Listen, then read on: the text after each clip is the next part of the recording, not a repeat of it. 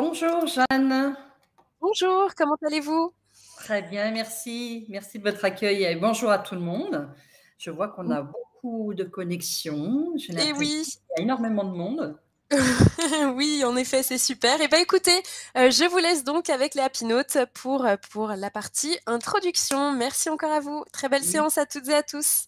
Très bien, merci. Merci beaucoup, heu, Jeanne.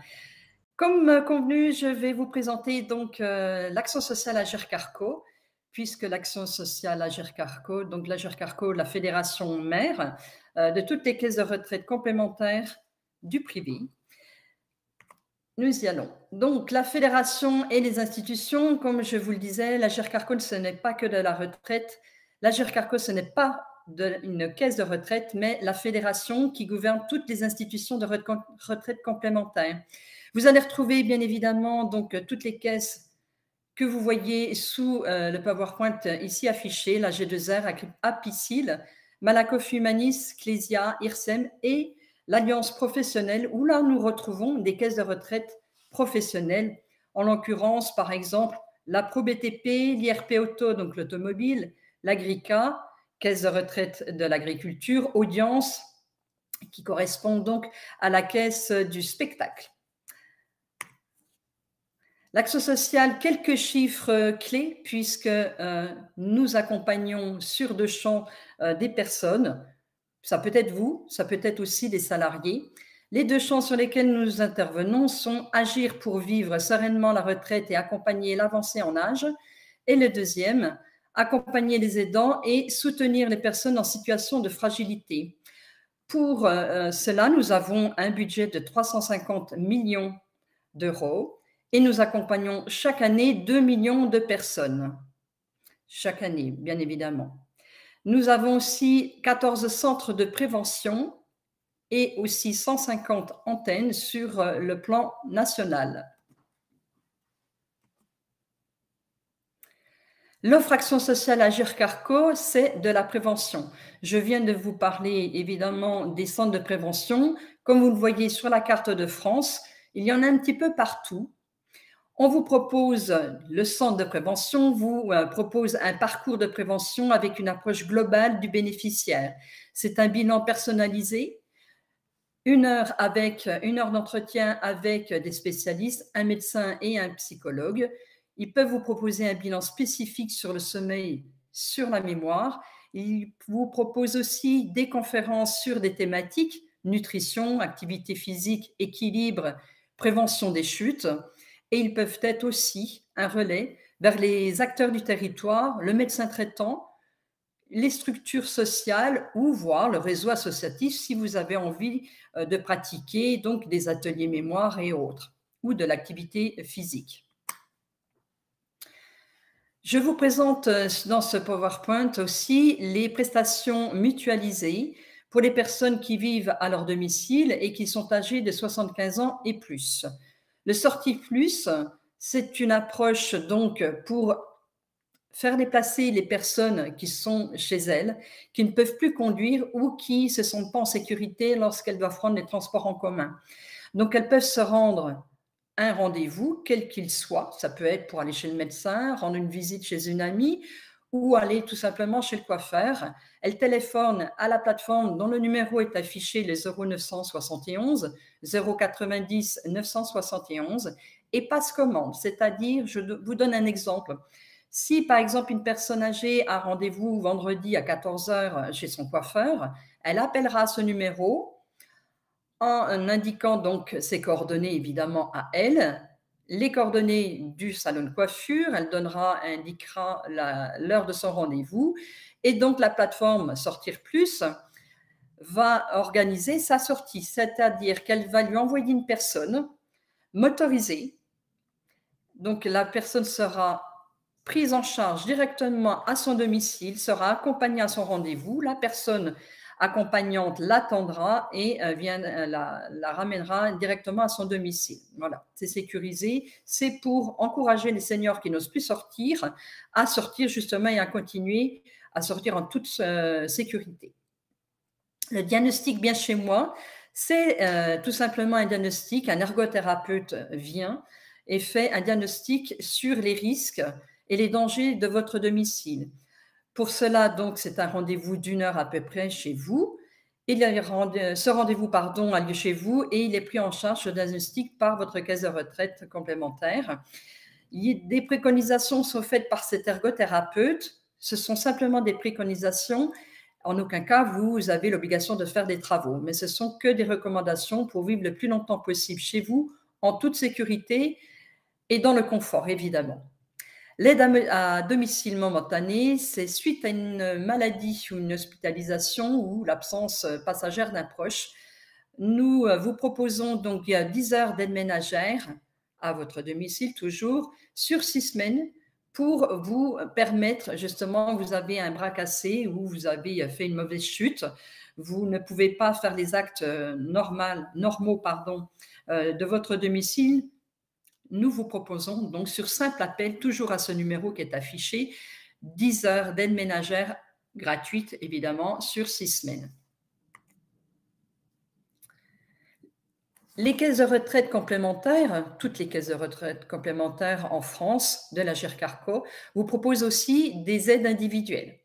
Les aides individuelles, donc, il faut, euh, vous aurez un, peu plus loin à la fin les, numéros de téléphone et euh, l'adresse mail de toutes les caisses de retraite pour prendre contact avec votre propre caisse de retraite afin donc de euh, voir avec vous si vous rencontrez une difficulté administrative, un problème financier suite à un divorce, suite à une séparation ou un deuil ou un handicap ou une maladie, perte d'autonomie aussi vous pouvez donc appeler euh, votre caisse de retraite, le service des aides individuelles, pour voir si vous pouvez avoir une aide, quelle qu'elle soit.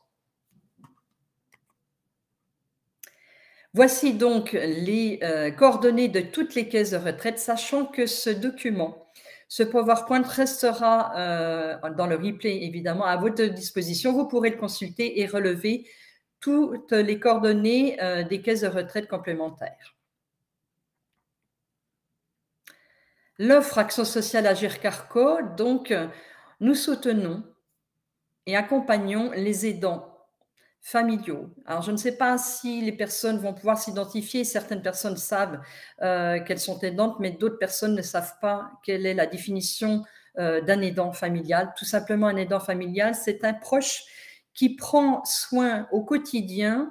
Euh, c'est une personne, pardon, qui prend soin d'un proche qui est soit en perte d'autonomie, soit euh, handicapé. Et là, il est validé donc dans ses tâches, dans, son quotidien, tout simplement, à travers ben, l'habillage, le coucher, la préparation du repas, l'administration aussi des, médicaments et le suivi du médical, des rendez-vous. Euh, vraiment, c'est vraiment une personne qui aide un proche tous les jours et 24 heures sur 24. Les aidants, donc, comme vous le voyez, sont à 8 à 11 millions, on estime.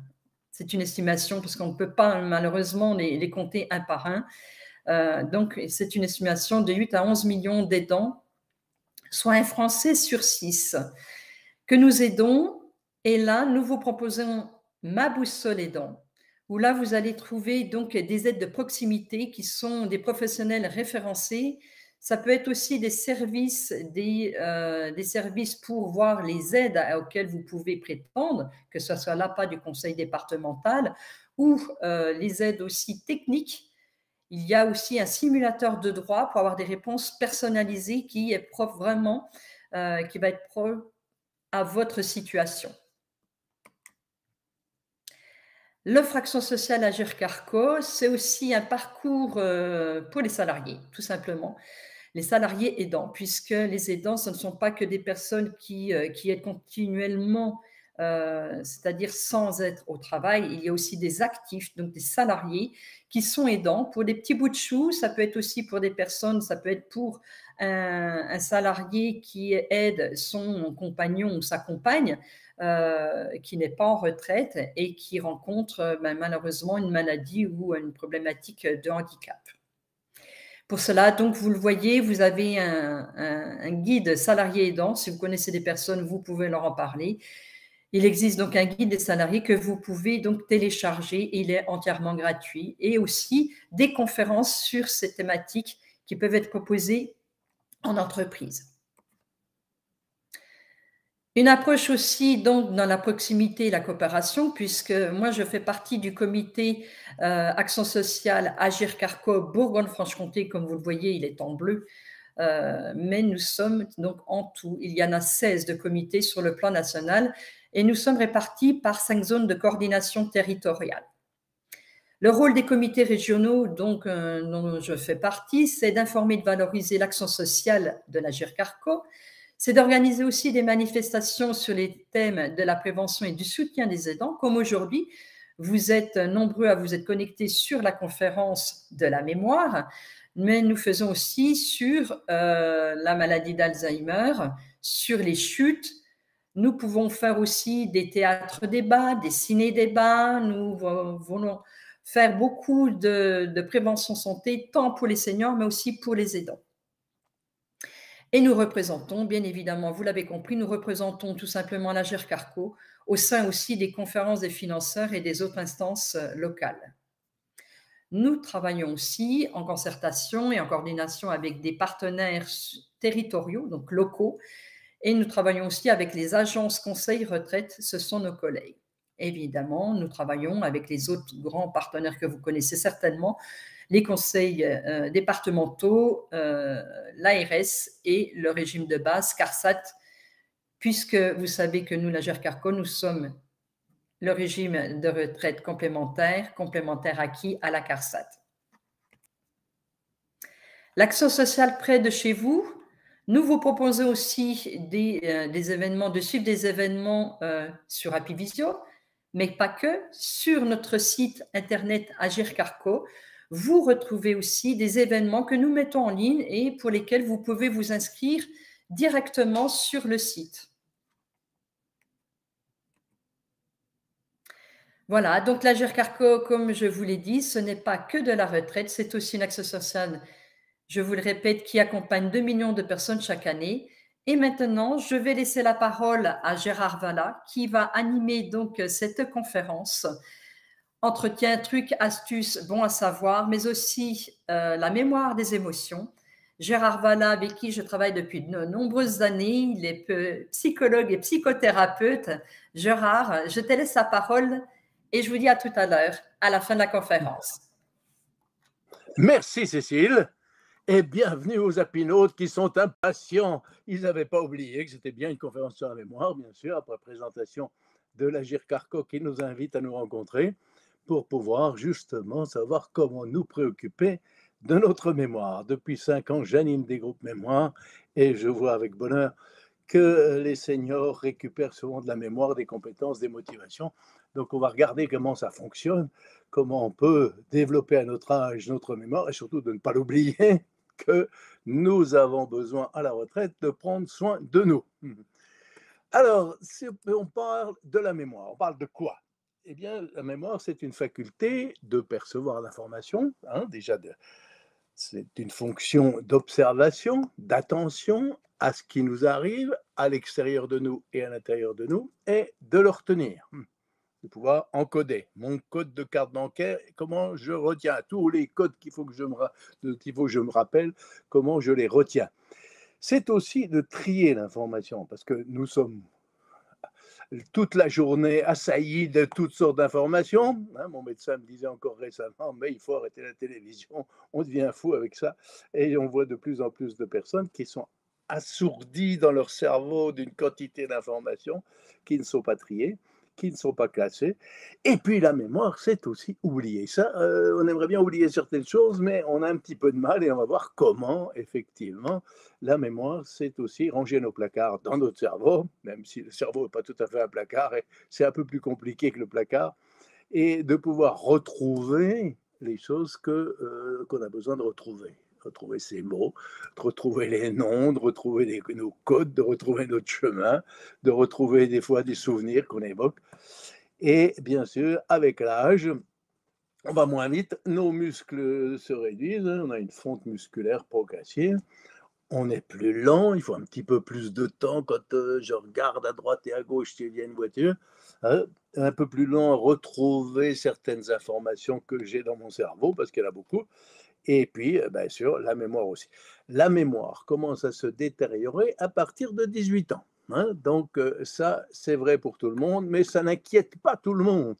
Parce que si à 30 ou 40 ans, on oublie quelques informations, on oublie un dossier à la maison, c'est pas gênant. À 70 ans, on se dit, oh là là, Alzheimer qui arrive, mon Dieu, heureusement, le docteur va nous en parler la prochaine fois et on en aura bien besoin. Avec l'avancée en âge, hein, la qualité des liaisons entre les neurones s'amenuise. Hein, c'est pour ça que l'alimentation a une certaine importance pour pouvoir stimuler continuer à stimuler nos neurones avec des vitamines et avec euh, des corps gras, puisque ça fonctionne aussi avec les corps gras, les oméga 3. La vitesse de reconduction conduction ralentie, il y en a deux, il n'y a pas besoin. Hein. Eh oui, il faut, le temps que je retrouve et que ça se branche. Hein. On perd à peu près 2% du volume du cerveau à partir de 30 ans, 2% hein, par an, par décennie, par 10 ans. Donc, il va falloir nous occuper de ce qui reste, parce que ça fonctionne encore bien, et ça peut fonctionner bien jusqu'au bout. Hein. C'est plutôt rassurant, mais ça demande du soin. Hein. La partie la plus touchée, hein, c'est l'hippocampe. C'est pour ça qu'on voit des dérèglements émotionnels, ce qu'évoquait Cécile. Eh bien, effectivement, nous animons des groupes en présentiel sur ce, thème-là en Franche-Comté, et nous voyons bien comment euh, les dérèglements émotionnels vont entraîner des difficultés relationnelles et des difficultés à mémoriser. Hein. Certaines parties du cortex frontal, euh, et en particulier dans la prise d'initiative, il nous faut plus de temps pour retenir quelque chose et pour apprendre. Hein. si vous faites du théâtre, que vous chantez, si vous êtes dans une chorale, ah ça j'ai oublié, bon sang, pourtant je l'ai lu, je l'ai réécouté, oui il faut un petit peu plus de temps. Je vois cette choriste qui me dit, bah oui, moi je mets les musiques régulièrement dans ma voiture avec ma clé USB et je me rends compte que bah, il faut que je passe en boucle de nombreuses fois pour que ça reste imprimé dans mon cerveau. Hein. La capacité à réaliser plusieurs tâches en même temps diminue. Hein. Ça aussi, c'est important parce qu'on est souvent en multitâche, hein, surtout quand on a été parents, surtout les mères qui s'occupaient de leur travail, des enfants, de, la cuisine, des, courses, du projet de la semaine prochaine, des vacances. Hein. On a beaucoup appris à être multitâche. Hein, c'est pour ça qu'on dit que les femmes sont souvent plutôt multitâches. Et on voit bien dans l'exercice de mémoire, on va en reparler, comment nous avons besoin d'apprendre à décomposer une information. Si je veux déclarer mes impôts, si je veux aller sur le site de Malakoff ou le site d'Agir Carco, eh bien, il va falloir reprendre point par point l'information pour justement trouver celle dont j'ai besoin. Le vocabulaire s'enrichit. Hein, ça, c'est très important d'enrichir régulièrement nos connaissances, des connaissances anciennes qui sont touché en dernier. Hein. On voit bien, même chez des gens Alzheimer, qui sont capables de retenir des choses très anciennes, de même que l'expérience acquise. Hein. On voit des personnes qui n'ont plus du tout de mémoire immédiate et qui continuent à raconter leur vie professionnelle antérieure. Hein. Donc c'est intéressant de voir comment ça fonctionne, cette mémoire, et puis comment on va développer une mémoire optimale, puisque le déclin cognitif n'a rien d'inéluctable. C'est comme nos muscles, si on marche régulièrement, on va avoir une assez bonne musculature, on va peut-être avoir un petit peu moins de force physique, il va falloir faire, prendre un petit peu plus de temps pour faire un parcours, mais le déclin de nos muscles va se ralentir, il va être lent, progressif. Le déclin cognitif, c'est pareil. Alors, le, la mémoire, elle commence par les sensations aussi, ça baisse un petit peu. Louis, on entend un petit peu moins bien, on voit un petit peu moins bien, on sent un petit peu moins bien. Certains même ont perdu l'odorat, hein, perdu le goût. Hein. On a besoin d'un peu plus de temps pour apprécier. Ne mangez pas tout de suite la tablette de chocolat, même s'il y a des vitamines dedans. Et on a besoin doucement de goûter et d'apprécier plus délicatement les choses. Et pareil, le toucher hein, va être un petit peu moins sensible. Donc, on a besoin de prendre le temps, si on veut avoir une bonne mémoire, de bien regarder où est-ce que j'ai posé mes clés. Euh, ah oui, je les ai posées là. Est-ce que j'ai bien fermé la porte? Ah oui, et, ah, ça y est, je me souviens. Fermer la porte. Hein. On voit des personnes qui vont vérifier trois ou quatre fois parce qu'elles n'ont pas mémorisé la sensation corporelle d'avoir fermé la porte. Hein les gens qui ont des, des tox, des troubles obsessionnels compulsifs et qui ne savent plus quand est-ce qu'elles ont fermé la porte ou pas, ont besoin de faire un ancrage kinesthésique, c'est-à-dire hein, dans le toucher. Je ferme la porte, je me serre un coup à la main, je retire ma clé, je vois que je retire ma clé, je la glisse dans ma poche. Hein. Si je fais tout ça en regardant, en observant, en entendant le bruit et en, touchant le poignet qui vient de fermer la porte, il y a plus de chances que je puisse me rappeler de ce que je viens de faire. La mémoire qui va être la plus vite détériorée, et ça c'est très important à bien repérer, pour nous et pour nos proches d'ailleurs, c'est la mémoire à court terme. Hein. On peut appeler ça aussi mémoire sensorielle, mémoire de travail. Hein. Il faut que je me rappelle du code, euh, quel code il faut que je mette. Ah oui, qu'est-ce que tu m'as dit? Tu t'appelles comment? Ah oui, tu m'as dit que l'adresse c'est où? Ah, J'ai pas entendu. Une nouvelle information qui vient de m'arriver. Hein, des fois, c'est notre partenaire qui nous dit Mais le GPS t'a dit de tourner à la première à droite. Oui, mais attends, j'ai pas entendu.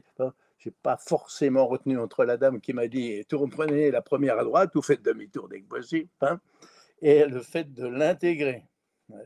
Cette mémoire à court terme, il va falloir que je l'entraîne régulièrement.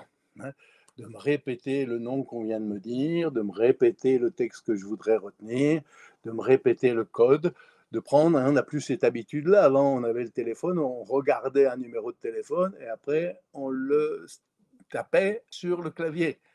Maintenant, on tape sur le clavier le nom de la personne et le téléphone, on ne sait plus du tout le numéro. Hein. Donc, toute cette mémoire à court terme, on va devoir euh, la retenir, la travailler régulièrement et c'est un, des signes qui peut nous inquiéter. Nous avons aussi des mémoires à long terme. Hein. D'abord, la mémoire épisodique nous nous rappelons des événements personnels que nous avons vécus, des événements professionnels, hein, et là aussi, on voit euh, l'ambivalence de certaines personnes. On se dit, mais cette dame qui me dit, mais mon mari, il va pas bien, c'est un ancien homme politique qui a été très engagé dans la vie, et euh, dès qu'on engage une conversation avec lui, eh bien, il développe toute sa mémoire qu'il se déroule, des événements qu'il a vécus, qu'il peut raconter avec beaucoup de précision, mais il ne sait plus ce qu'il a mangé hier, il ne sait plus ce qu'il doit faire, il ne sait plus il faut rappeler pour le chauffage, il ne sait plus les démarches qu'il a à faire aujourd'hui. Sa mémoire à long terme fonctionne très bien, sa mémoire à court terme ne fonctionne plus. Et comme c'est sa mémoire à long, à long terme qui fonctionne, il ne travaille plus sa mémoire à court terme. Hein. Dans la mémoire à long terme, nous avons aussi les connaissances et la culture. Ça, c'est intéressant parce qu'on s'aperçoit que dans les quantités de facteurs qui peuvent contribuer à Alzheimer, ça aussi, dans la conférence 3, on va le développer, je pense, eh bien, il y a les capacités de connaissance et de culture. C'est assez simple à comprendre. Si dans notre cerveau, on a de multiples connaissances, de compétences, de culture, d'idées, de concepts, si le cerveau commence à se ralentir, euh, ça ne va pas tout détériorer. Si je fonctionne sur trois neurones, hein, eh bien, ils seront vite détruits. Et cette mémoire sémantique, elle peut se travailler toujours. C'est-à-dire que nous pouvons apprendre une langue, apprendre un instrument de musique, apprendre, euh, se cultiver, aller à un spectacle, et pour enrichir cette mémoire de concepts c'est pour ça que dans les groupes mémoire, on a toujours une partie de culture générale et pour voir dans quel domaine la personne a une culture générale qui est déjà approfondie et qu'on peut continuer à enrichir. Et puis, la mémoire à long terme, c'est aussi les connaissances pratiques. Comment je tricote des chaussettes, comment je fais la recette de la sauce blanche, hein? comment je pose une cheville dans le placard? Hum, ah oui, comment on fait? Ah oui, ah oui, d'accord, il me faut cette pince. Ah oui, d'accord il va me falloir un petit peu de temps pour retrouver ce savoir-faire. Hein. C'est comme la bicyclette, hein. en ça s'oublie pas, mais quand je remonte sur mon vélo, ah oui, il me faut quelques secondes pour euh, rebrancher cette mémoire procédurale. Et cette mémoire-là aussi s'apprend. Hein. Et elle s'apprend pour les choses très pratiques et très techniques, elle s'apprend aussi pour des choses de, de notre savoir. Comment je calcule une racine carrée, comment je fais cette opération-là, comment je traite un problème que je peux euh, avoir. Hein. Alors, on peut peut-être commencer par un petit exercice et de voir, c'est ce que je teste très souvent dans, le début des premiers groupes, euh, des groupes mémoire, hein, et de regarder régulièrement notre mémoire à court terme. Hein. Et pour notre mémoire à court terme, eh bien, on va regarder comment, quand je veux retenir quelque chose, comment j'associe, j'imagine, je localise. Hein. Malheureusement, à l'école, même si les enseignants développent ces compétences-là, on n'apprend pas beaucoup à retenir, ou alors c'est le professeur qui dit comment lui il retient, mais tout le monde ne retient pas pareil. On va y revenir là-dessus. Hein. Donc, nous allons tenter de retenir une liste de mots, et pour les retenir, vous allez vous laisser imaginer, penser comment vous imprimez dans votre cerveau ces mots par association, par image, par euh, imagination, par une histoire qui les relie. Hein. Regardons comment nous pouvons mieux utiliser notre mémoire. Allez, un petit exercice. Vous allez utiliser des liens, vous pouvez inventer une histoire qui suit, vous partez à bicyclette, comme Yves Montand, hein, et l'ordinateur sur le bras, de l'autre côté une échelle, vous allez avoir un oreiller au cas où il vous faudra vous reposer, vous n'oublierez pas l'appareil photo, un boomerang, ça peut servir pour s'amuser si vous avez vos petits-enfants. Si vous pourrez manger un petit gâteau en lisant le journal, et ensuite vous prendrez une douche avec du savon pour avoir un bon coup bien propre comme les girafes.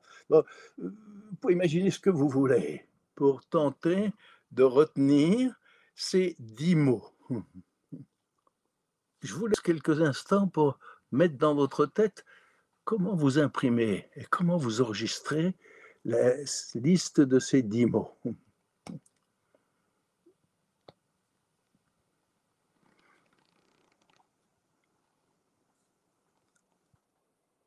Est-ce que j'ai été attentif à les mots que viennent d'être prononcés?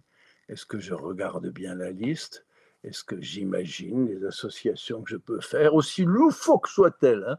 Aussi, on va voir que pour que le cerveau marche bien, il ne faut pas qu'il ait peur des choses un peu bizarres. Hein? C'est comme pour nos rêves. Allez, maintenant, vous allez prendre un papier et noter les dix mots dont vous vous rappelez, lesquels dans cette liste de dix mots. Est-ce qu'il reste de la lumière dans votre cerveau pour vous rappeler la liste des dix mots dans l'ordre. Allez, on part équipe montant. Ah non, il n'a pas mis la musique. Hmm.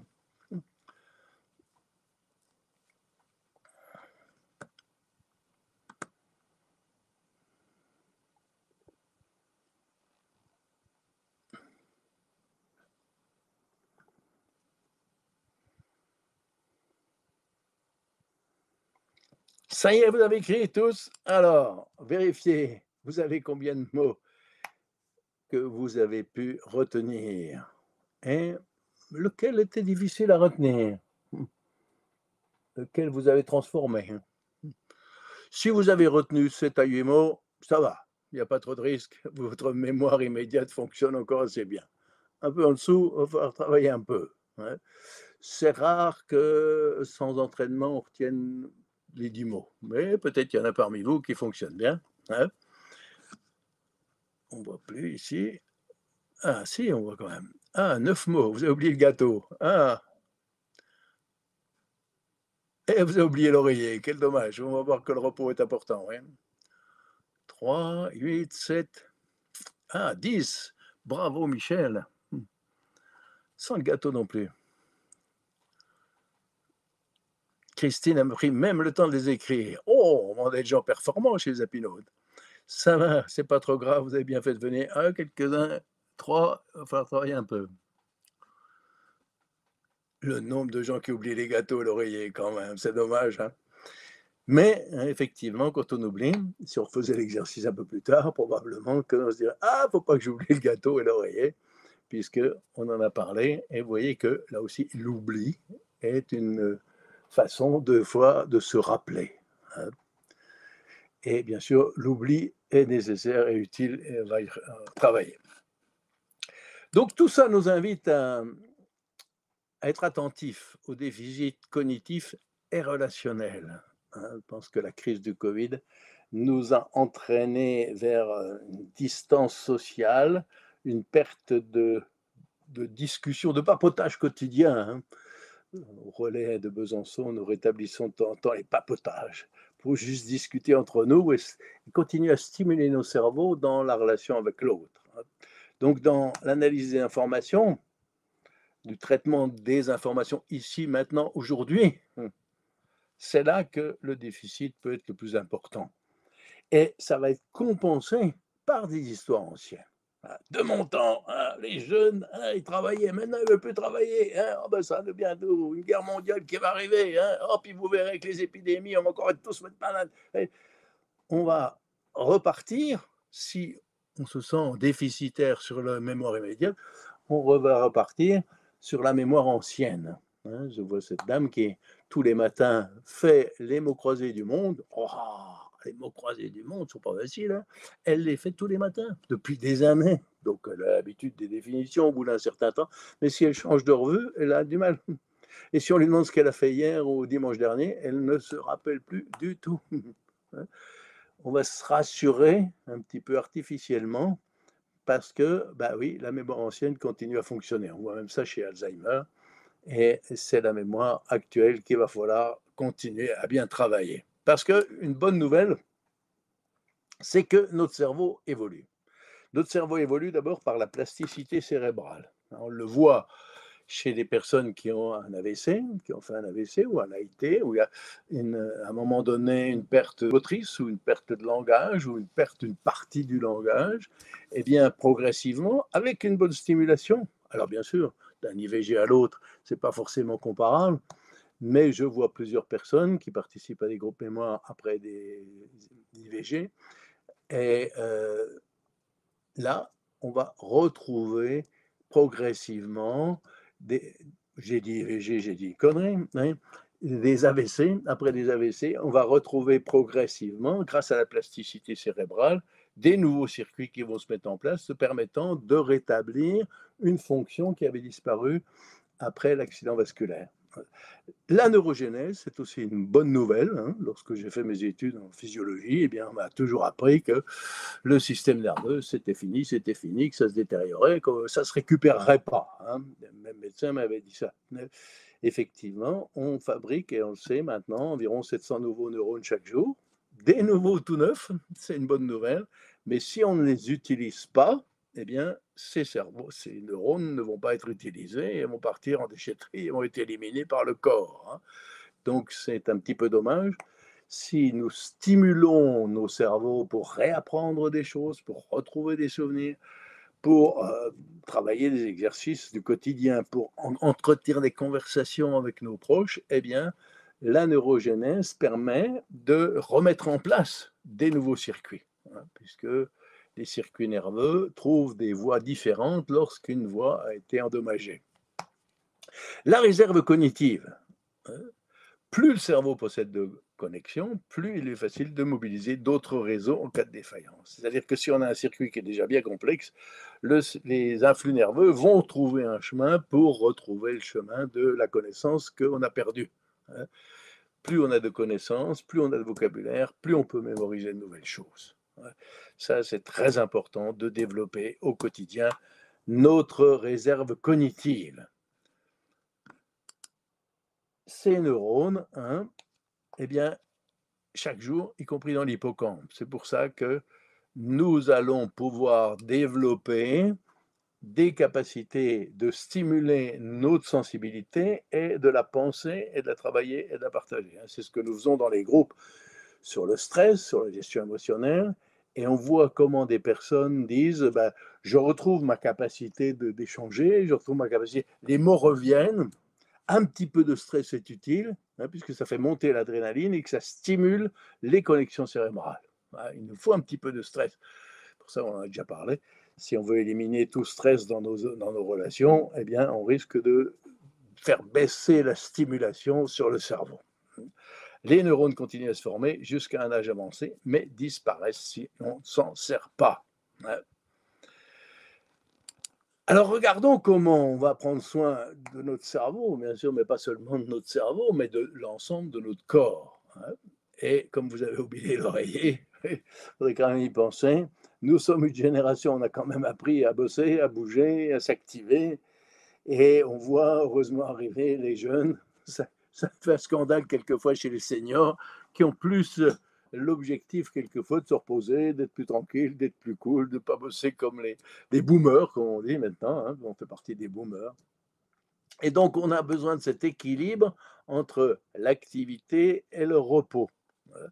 Les recherches récentes sur le repos sont intéressantes, hein, ce qu'on appelle le mode par défaut, c'est-à-dire si pendant la journée, nous prenons un temps pour ne rien faire du tout, sans stimulation, c'est-à-dire sans télévision, sans musique, sans lecture, sans rien du tout, notre cerveau se repose, range, met de l'ordre, comme pendant le sommeil, on va le revoir. Notre cerveau remet de l'ordre et dans ce mode par défaut, nous allons retrouver nos capacités créatrices. Quelquefois, tiens, un problème qui trouve, ah, je n'avais pas pensé à ça. ça y est, la pensée se met au repos et le cerveau continue à travailler plus lentement et de façon plus créative. Et puis bouger, bien sûr, est indispensable pour mettre en, accord notre corps et notre cerveau. Hein, on n'a pas seulement une tête, mais on a aussi une tête et des jambes. Hein. D'abord, ça réoxygène. Hein. Le cerveau a besoin d'oxygénation régulière. Quand on est confiné dans une chambre ou dans un bureau, eh bien, euh, les connexions nerveuses ne sont pas tellement activées. Donc, varier les activités peut développer, stimuler l'ensemble de nos fonctions cognitives. Hein, et de pouvoir marcher, par exemple, de façon, je pense comment je vais marcher, hein, je pense comment je vais accélérer. Il semble que l'activité sportive est intéressante de façon régulière, mais aussi avec une accélération. Hein. Nous avons besoin, semble-t-il, pour le stress, d'avoir au moins 20 minutes, 3 fois 20 minutes par semaine d'activation du, système cardiaque, du système cardiovasculaire, hein. petite montée, je monte, d'aller danser, etc. Et puis bien sûr la sylvothérapie qui nous met, que Sylvia, c'est les, les, arbres, hein, nous mettent en lien avec la nature. Pour ceux qui ont euh, cette possibilité-là d'entrer dans la forêt, je trouve que c'est magnifique en ce moment, il y a quelques champignons. C'est aussi bon pour euh, les vitamines B3, qui vont augmenter euh, la, stimulation cérébrale. Hein.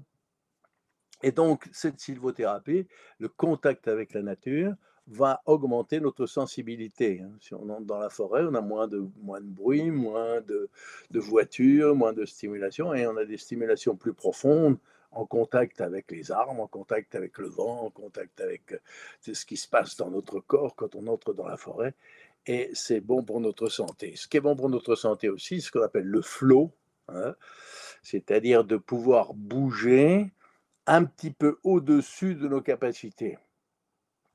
Travailler sur les douloureux chroniques, hein, les fibromyalgiques, et on voit bien comment des personnes disent ben oui, parce que j'ai mal, je bouge pas, eh ben, je suis encore plus mal. Si je fais l'expérience, ça dans un groupe, une personne qui me dit ben, Je suis fibromyalgique et donc je ne peux pas bouger, je ne peux pas marcher, je ne peux pas faire du vélo. Et l'autre d'à côté, sa voisine dit Je suis fibromyalgique et tous les jours je marche et je fais du vélo. Et donc ça stimule mon cerveau, ça stimule mes muscles et généralement en fin de journée, j'ai moins mal. Donc c'est intéressant de sentir à quel moment je vais dépasser un petit peu mon objectif. Hein. Elle voit bien pour le cerveau, d'ailleurs dans les activités de, mémoire, dans les groupes mémoire. Si c'est trop facile, oh, quelqu'un dit oh, c'est pour les bebeux, c'est pour les gamins, c'est trop facile, ouais. Bon, si c'est trop difficile, oh, bah, je suis découragé, je m'en mets. Il faut avoir trouvé quelque chose qui est pas trop facile, mais pas trop difficile. C'est là que les gens sont contents. Disent, ça y est, j'ai trouvé. Hein. mais cette belle grand-mère qui m'a écrit ce matin m'a dit, oui, mais j'ai donné à ma petite fille les exercices, elle les a fait en 3 minutes 50, alors que moi, il m'a fallu 20 minutes. Et, et oui, bien sûr, il va nous falloir plus de temps. Mais la comparaison peut être avec nos petits-enfants qui ont un cerveau en général qui va très vite. Mais c'est aussi avec nous-mêmes de se dire, tiens, il y a des capacités, j'ai continué à avoir des capacités pour pouvoir apprendre. Hein. Bien dormir, hein. ça, il semble de plus en plus que dans les recherches sur la santé, c'est la base de notre santé et de notre santé générale. Hein. On a besoin d'un bon rythme de sommeil, vous avez déjà eu plein de conférences à Pivisio sur ce thème. Et euh, bah, d'abord, c'est lié à notre activité diurne, notre activité de la journée travaillé trois ans au troupe du sommeil et je vois défiler des tas de seniors qui dorment plus, mais qui ont réduit leur activité physique après le travail. Et donc, euh, n'ayant moins d'activité physique dans la journée, ils ont moins besoin de se reposer et ils s'étonnent que, bah, au milieu de la nuit, ils se réveillent, ils regardent la télé, ils n'ont pas d'activité, euh, euh, ils ont des activités dans la chambre pour tenter de s'endormir. Hein. Attention, pas d'activité dans les chambres, sauf l'amour, bien sûr, hein. mais euh, pas d'activité de, de, musique et de télévision. Hein. Tu voyais plein de personnes qui disent ben oui, je stimule mon cerveau, je me mets devant la télé et je m'endors avant la fin du film je me réveille un coup, je vais dans ma chambre et je ne m'endors pas. Attention que nous avons des mécanismes qui sont ancrés dans notre cerveau et quelquefois qu'on ancre très tôt chez les enfants, hein, on va les stimuler pour les reposer. Hein, les enfants qui, dans les crèches qui vont s'agiter quand on leur demandait de se reposer et de faire la sieste. Et c'est la même chose pour beaucoup d'entre nous quand on pense qu'on va pouvoir se reposer après beaucoup d'activités, d'ordinateur, de musique, de films, etc. Hein. Donc, nous avons besoin d'apprendre. Et là aussi, le fait de faire une sieste peut être très intéressant, à condition qu'elle ne soit pas trop longue. Hein. Dans les journaux qu'on demandait aux, personnes insomniaques de nous faire pour voir comment ils géraient leur sommeil et leur sieste, eh bien, on constate que quand quelqu'un fait 20-30 minutes de sieste, il a un bon sommeil, un meilleur sommeil dans la nuit, s'il fait une heure, une heure et demie de, de sieste, eh bien, il n'arrive plus à s'endormir parce qu'il a déjà fait un cycle de sommeil. Hein. Les cycles de sommeil, c'est environ une heure et demie. Il a déjà fait un cycle de sommeil qui fait que bah, il a du mal de s'endormir parce que euh, bah, il en a déjà assez dans la journée. Nous avons besoin de faire attention aussi au traitement, hein, puisque on voit bien qu'au bout d'un certain temps, c'est contre-productif. Hein, si on a un traitement ponctuel, ça peut aider quand on est vraiment euh, en manque de sommeil. Mais lorsqu'on a régulièrement un traitement, hein, si on prend un peu de mélatonine, c'est très bon parce que ça permet de recycler, remettre les cycles en place, surtout si on vient de faire un voyage euh, avec un décalage horaire.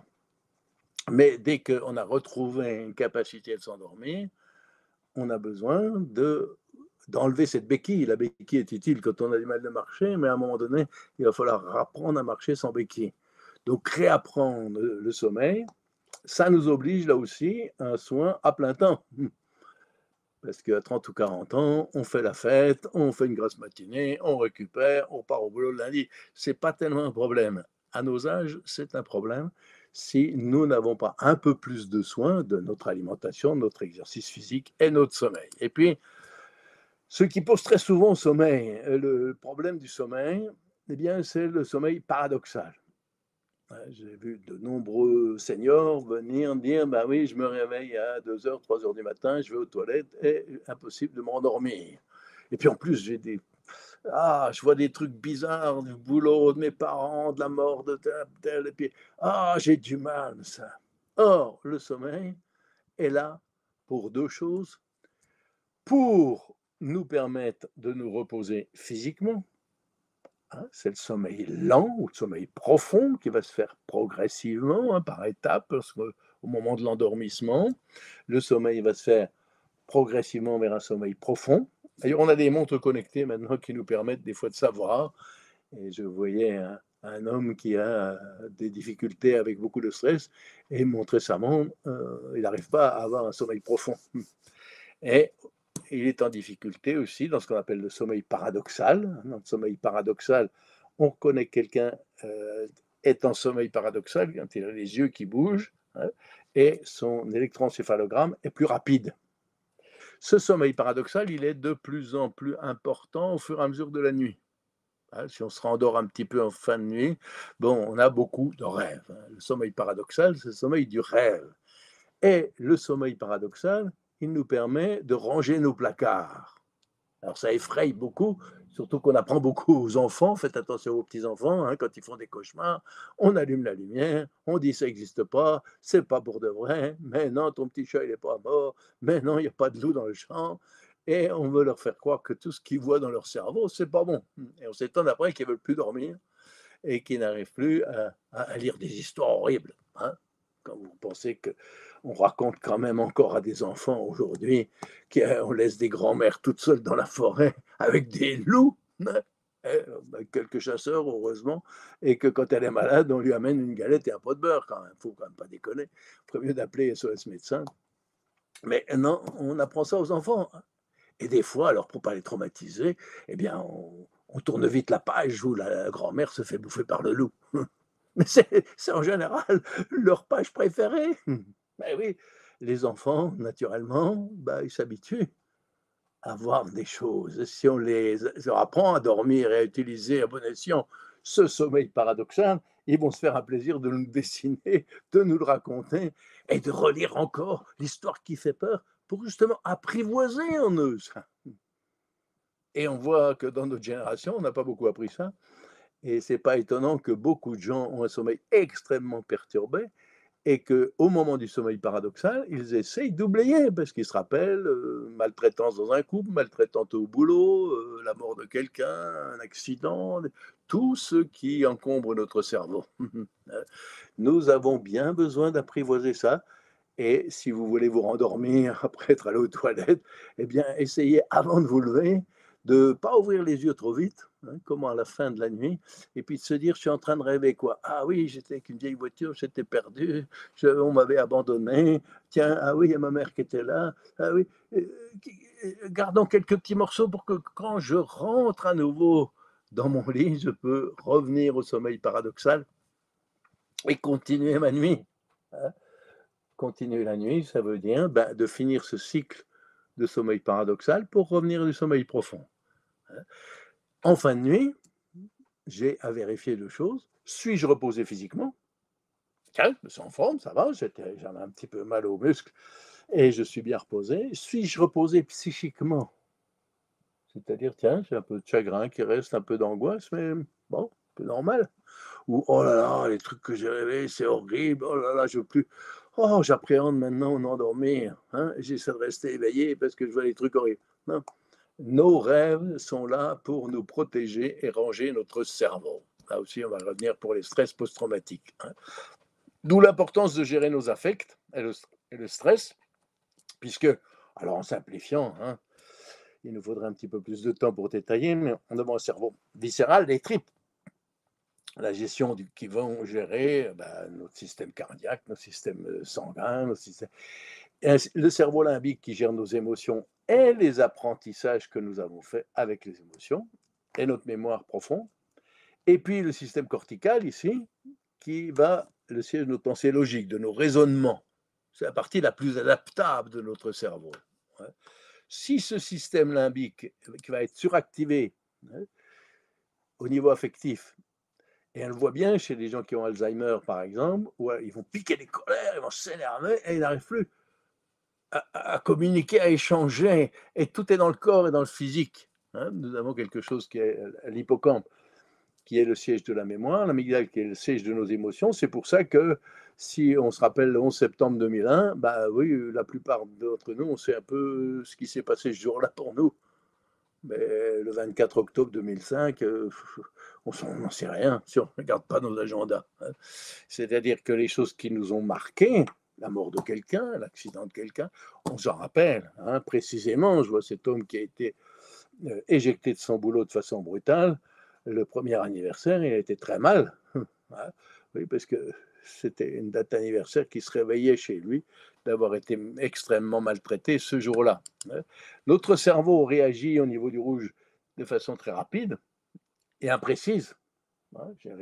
Une réaction physiologique assez rapide quand on m'apprend une nouvelle ou quand j'ai une angoisse. Et il y a une route un petit peu plus longue, justement, c'est celle-là qu'il va falloir entretenir, qui est de d'interpréter ce qui se passe. Tiens, je me réveille avec beaucoup de chagrin. Qu'est-ce qui se passe aujourd'hui? J'ai pensé à quoi? Est-ce que j'ai rêvé à quelque chose cette nuit? Ah oui, qu'est-ce que je vais faire pour moi avec ce chagrin? Hein? Je recevais une personne qui était, il y a quelques années, pleine de douleurs, puisque si on en reste à des systèmes en rouge, le système neurovégétatif et le système endocrinien, eh bien, on aura plein de douleurs, fibromyalgie, polyarthrite, etc. Et qui aujourd'hui va plutôt mieux. Hein. Elle n'a plus ces douleurs. Elle a juste des petites douleurs qu'elle ressent bien et qu'elle accueille avec bienveillance. elle me dit, j'ai cessé de lutter contre moi. Bravo, belle formule je suis en accord avec moi et je peux me laisser travailler ce cerveau cortical avec une imagination, une curiosité, une relativité. Ne regardez pas trop la télé parce que c'est blanc ou noir. Vous êtes pour ou contre. Vous êtes d'un côté ou de l'autre. Vous avez toujours une pensée binaire. Il n'y a pas de nuance, il n'y a pas de subtilité. Les gens qui sont un petit peu subtils, on les dit alors vous êtes pour, vous êtes con. Hein, hein vous me répondez par oui ou par non. Vous me répondez en trois minutes, une minute qui nous reste, donnez-moi réponse. Comment on va régler le problème de la peine, de la faim dans le monde ou de la guerre dans le monde. Hein, Imbécilité des médias où on va simplifier l'information. Nous avons bien besoin de développer une curiosité, une compétence, une subtilité, une souplesse d'esprit qui va entretenir notre cerveau pour le maintenir en bon état. Hein. C'est tout le, règne de l'intelligence émotionnelle dont on a déjà beaucoup parlé, c'est-à-dire d'accepter notre sensibilité, d'accepter le fait que, ben oui, nous ayons des chagrins, nous ayons des peurs, nous ayons des inquiétudes pour l'avenir, nous ayons des regrets du passé, etc. C'est ce qui va nous permettre justement de bien penser et d'être dans une meilleure santé et une meilleure mémoire, puisque c'est une mémoire émotionnelle. Hein. Nous avons principalement quatre grandes émotions, colère, joie, tristesse, peur, il y en a des positives, des négatifs. Non, elles sont toutes positives à condition de savoir s'en servir. Hein. Et il y a eu des expériences dans, dans des EHPAD avec des gens qui commençaient à avoir des troubles cognitifs. Et quand on leur propose de dire, tiens, c'est quoi vos plus grands chagrins de l'existence? C'est quoi les choses qui vous révoltent encore? Est-ce qu'il y a encore une capacité de révolte chez vous? Et c'est quoi qui vous inquiète le plus pour l'avenir? Quelle angoisse vous avez? Comment on peut en parler pour votre mort, votre agonie? Parle des choses, de tout ce qu'on ressent. Et on s'aperçoit que les troubles cognitifs diminuent. Je chante de temps en temps dans les EHPAD et je vois avec bonheur que si on choisit des chansons de, l'époque de la personne qui réveillent des souvenirs, qui réveillent des chagrins, cette dame qui disait Oh, ça nous fait du bien quand vous venez, on peut pleurer. Oh, en pensant à notre maman, à notre papa quand vous chantez mon vieux. Oh, ça fait du bien. Oh. Et bien sûr que ça fait du bien. Ça fait du bien parce que ça, le chagrin s'évacue, il peut remonter à la surface et il peut se partager, échanger à travers les paroles et une musique. Hein. Sinon, ben, qu'est-ce qui se passe dans notre mémoire? Tout ce qu'on va refouler, ça va faire des séquelles, hein, des ruminations. Alors aussi, on voit bien comment ça tourne en boucle. Je pense sans arrêt à la même chose et j'avance pas là-dessus. J'y pense sans arrêt. Ça, ça me rumine. Mon petit-fils qui a des problèmes, comment il va s'en sortir, puis mon gendre, et puis. Euh, et ça va encombrer notre mémoire. Ça va occuper notre mémoire pendant ce temps-là. Eh bien, j'ai beaucoup de mal à élaborer les choses, à les partager. Si je peux terminer les choses, boucler les choses. J'ai été maltraité au boulot, j'ai été maltraité dans un couple, j'ai vécu un deuil difficile et je peux en parler. Je vais achever la situation. On dit faire le deuil, hein, nous en avons déjà parlé dans une autre conférence. Faire le deuil, ça veut dire que j'ai pleuré tout ce que j'ai à pleurer. J'ai dit tout ce que j'avais regretté. J'ai partagé mes inquiétudes. Ma pensée est plus claire. Mes souvenirs sont apaisés. Ma mémoire est libérée. Hum. Cet homme me disait, oui, j'ai des souvenirs dont je peux me rappeler, partager, échanger. Il y a des choses, dès que je m'en rappelle, ça me fait mal partout. J'aime autant pas en parler. Et ça, ça nous encombre le cerveau. Et ça va faire des ruminations hein, où euh, ben, on tourne en boucle. Le cerveau ne travaille pas puisqu'il travaille toujours sur les mêmes circuits. Hein. Et je vais passer une partie de mon temps à lutter contre ça. Le cerveau est bien équipé parce qu'il est équipé pour se rappeler des choses difficiles et douloureuses. Les beaux souvenirs, il va falloir travailler pour m'en rappeler. Il va falloir des photos, il va me falloir discuter avec des anciens qui l'ont vécu et partagé quand je rencontre des gens je rencontre au travail dans des bons moments, ça y est, les beaux souvenirs reviennent, mais ils ne reviennent pas naturellement. Ce qui revient, c'est les souvenirs douloureux, difficiles. Il va falloir se rappeler que si en voiture j'ai eu un accident, il va falloir que je sois prudent. Ça, c'est indispensable. Si j'étais mordu par un chien, il va falloir que je me rappelle que les chiens, il faut faire attention, on ne va pas les provoquer. Si je me suis fait agresser, il va falloir que j'y pense. Et nous avons bien besoin, là aussi, de développer les capacités d'action plutôt que de lutter en boucle et d'occuper notre cerveau pour des activités dont on ne sort pas. Hein. Ça va faire que ben, on va déconner tout le temps. Hein. Dans un groupe récent, on a voyagé, une, dame déconne tout le temps, crie, hurle, rigole, dit des conneries. Et à un moment, on n'est que les deux. Elle me dit J'ai l'air d'être joyeuse comme ça, mais c'est la souffrance dans ma famille, partout, c'est la catastrophe. La perte d'un mari, la difficulté avec un fils, la difficulté avec une belle-fille. Et j'aime autant déconner. Tout, tout, ce que j'ai de douloureux et de difficile, je le garde à l'intérieur de moi. Pas étonnant que la mémoire va être détériorée. Hein.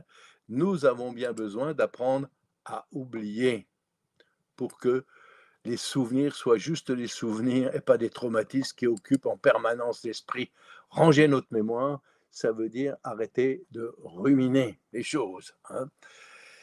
Et nous avons regardé que ben, bien souvent, c'est ce que je voyais dans les troubles du sommeil en particulier, hein, on n'a pas, digéré un événement traumatique. C'est-à-dire qu'on n'arrive plus à le gérer quand, on y pense, ça occupe une grande partie de notre pensée. Hein, quand nos placards sont archi bourrés de choses pas rangées dont on ne sait pas quoi faire, je ne peux pas y rajouter quelque chose. J'ai plus de place. Donc, il va falloir faire du rangement. Et ça, c'est quelque chose de difficile, parce que c'est le corps en général qui se rappelle. On a fait aussi une conférence là-dessus. Hein. Et il y a une partie du cerveau qui est occupée à lutter contre les pensées. Il faut plus que j'y pense. «Ah, faut pas que, oh, faut pas que je pense à ça, c'est horrible. Des gens qui vous disent j'ai vécu des choses horribles, j'en ai jamais parlé ni à mes enfants, ni à mes conjoints, ni à mes amis. Hein. Et des événements qu'on a vécu ensemble, on peut reparler, comme les anciens combattants qui peuvent parler un peu de leur guerre, ça leur fait du bien. D'autres qui n'osent pas en parler et qui euh, transmettent ça à leurs enfants. Hein. Eh bien, ça, ça va entraîner des difficultés. Je ne peux plus me concentrer je suis toujours sur le qui-vive, je suis toujours en hyper-vigilance et donc jamais vraiment disponible à observer ce qui se passe et à échanger avec les personnes de mon entourage. Nous avons aujourd'hui quand même des techniques intéressantes, dont le MDR, que je pratique depuis plus de dix ans, avec euh, bonheur de voir des gens soulager, soulager leur cerveau, soulager leurs pensées. Hein. MDR, ça veut dire Ice Movement, désensibilisation, retraitement. Ça veut dire que avec les stimulations bilatérales du cerveau, ici, je vais pouvoir retraiter l'information, l'information qui est bloquée, que je n'ai pas partagée, que je n'ai pas élaborée ici, et qui reste dans le corps. Et ça va permettre de sortir de zones de traumatisme et de modifier mes estimations sur moi. Souvent des dévalorisations, des peurs de mourir, des peurs d'être coupable, une conférence récemment à la demande d'un relais sur la culpabilité. Combien dans notre vie nous avons été coupables de la mort de quelqu'un, de la maladie de quelqu'un, ou coupables de ne pas avoir bien pris soin de nos parents, parce que des fois on s'est donné cette responsabilité qui n'était pas la nôtre. Donc ça permet de laisser au passé cette histoire. Je vois cette brillante infirmière qui dit, euh, arrivant dans un groupe mémoire, moi je suis complètement nul en maths, on m'a toujours dit les profs l'infirmière, elle a toujours su faire euh, les calculs dont elle avait besoin. Mais non, elle garde cette idée, je suis nul. De pouvoir travailler là-dessus, de pouvoir valider quand elle fait des exercices avec des chiffres et qu'elle y arrive très bien ou avec des volumes. Commencer par des volumes, c'était un peu plus facile parce que c'était plus proche de sa mémoire ancienne. Et après, de passer à des chiffres, ça marchait bien. Elle dit, mais je suis pas si mauvaise que ça, non? C'est même intelligente. Maintenant, c'est elle qui finit en premier tous les exercices qui demandent des chiffres. Hein. Alors, avançons un petit peu, on attend. Hein. Stimulons aussi nos neurones par la qualité du réseau social. Là aussi, nous avions bien besoin de retrouver de bons amis, peut-être de faire le tri des fois dans nos amis, parce que si c'est juste pour dire des conneries, ça fait du bien de temps en temps, mais on a besoin de vraiment parler, élaborer, entrer dans la complexité des problèmes. Hein. Les gens qui vont trop simplifier ne vont pas nous aider à stimuler notre cerveau. Hein. C'est pour ça que nous organisons des groupes mémoire, justement, où il ne s'agit pas de faire des exercices, il ne s'agit pas de faire l'école, il s'agit de rencontrer d'autres qui ne pensent pas comme moi, qui fonctionnent différemment, qui arrivent à comprendre comment ils fonctionnent.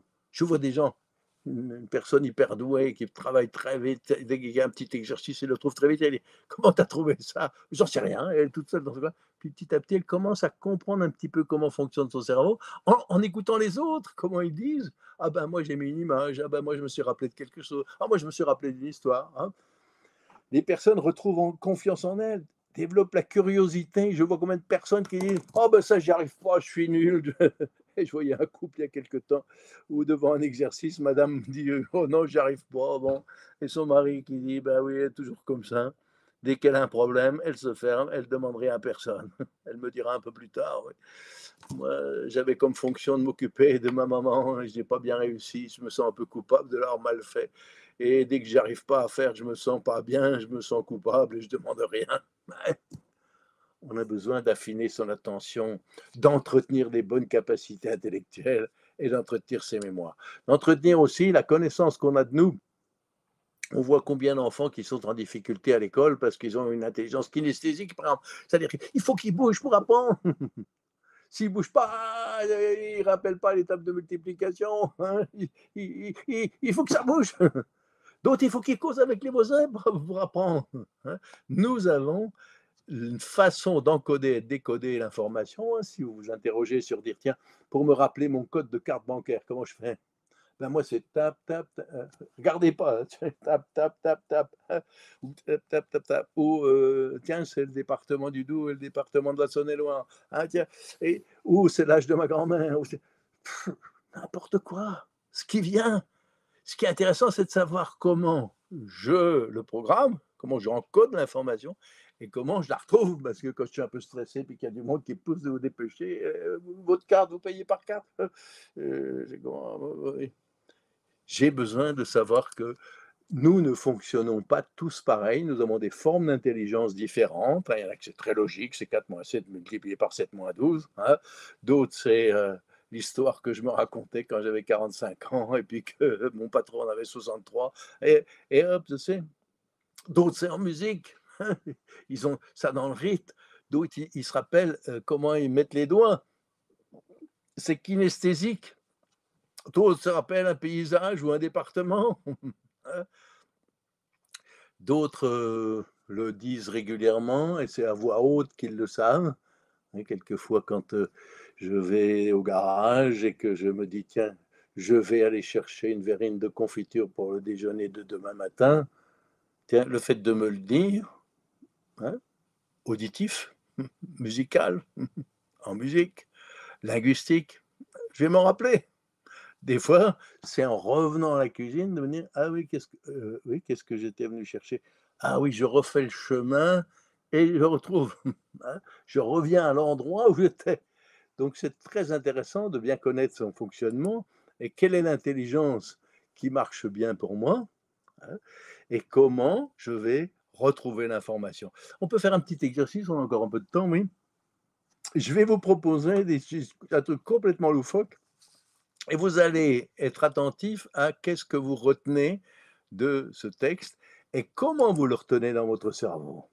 Hein. Imaginez que vous tenez un ballon de football dans vos mains et qu'il a une odeur d'orange fraîchement pressée. Ensuite, imaginez que le ballon ait la texture de la gélatine, hmm, qu'il fasse tic-tac comme une horloge et qu'il ait un goût de chocolat. Hmm. N'oubliez pas le gâteau ou l'oreiller. Hein. On peut s'en souvenir. Imaginez un instant ça. Concentrez-vous sur cette image afin de lui donner vie. Et plus c'est loufoque, plus on retient. Si votre esprit vagabonde, ramenez-le à la première sensation. Vous tenez un ballon. Et vous continuez. Imaginez un éléphant jaune à pois rose qui miaule comme un chat, le chat de Cécile qui le montait tout à l'heure, qui a le goût du gingembre, qui a un toucher piquant et qui sent le café frais. Regardez à quoi vous êtes sensible. Tentez de vous souvenir des caractéristiques étranges du ballon de foot et de l'éléphant. Plus votre visualisation aura été détaillée, plus il vous sera facile d'évoquer ces images. Visualisation, elle peut être parce que je l'ai vue dans ma tête, parce que je l'ai senti dans mes mains, parce que je me souviens du goût dans ma bouche, parce que je l'ai respiré. Si vous tentez de vous souvenir de ce que du ballon ou de, du ballon de football ou de l'éléphant, qu'est-ce que vous vous rappelez?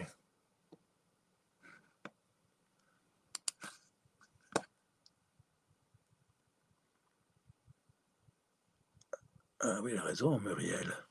Il faut que je me taise pendant que. Ah non, c'est Marie.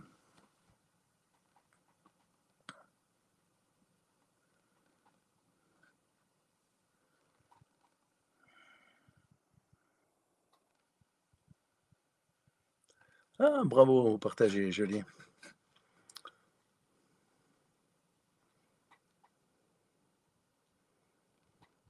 Donc regardez, oui, est-ce que j'ai vu les choses? Est-ce que j'ai senti l'orange? Est-ce que j'ai senti comment ça faisait tic-tac dedans? J'ai senti l'odeur du café.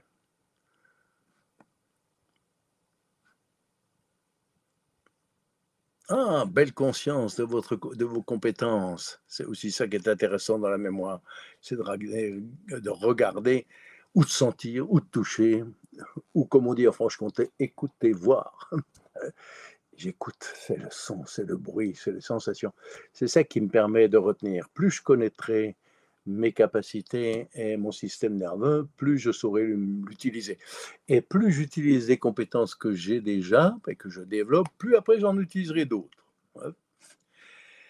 Et puis tout ça devrait nous amener à retrouver l'estime de soi,